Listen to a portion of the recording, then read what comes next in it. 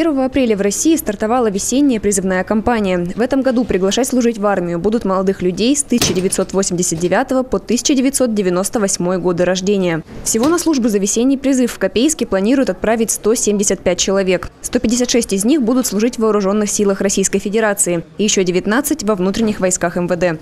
При этом распределять новобранцев по территориям и войскам будут по ряду критериев. При определении место прохождения службы призывником учитывается его состояние здоровья, это в первую очередь.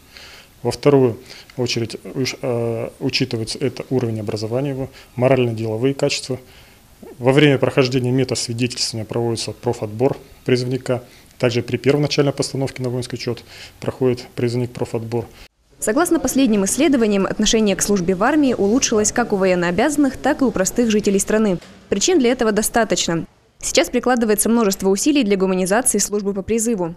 Так питаются солдаты по типу шведского стола. Обязанности по готовке пищи и уборке территории теперь выполняют не военнослужащие, а специально обученные люди. Также в личное время солдаты могут пользоваться сотовым телефоном и отдыхать в воскресенье. Однако проблема непрохождения военной службы все еще остается актуальной. По динамике прошлого призыва э, это есть увеличение, конечно, но проблема именно невыполнение обязанностей гражданами по воинскому учету остается. Э, не все с должным уровнем относятся к выполнению своих обязанностей по воинскому учету. Это не сообщает в установленные сроки именно о месте проживания, месте учебы. Оповещение призывников осуществляется только по повесткам военного комиссариата и никаким иным способом.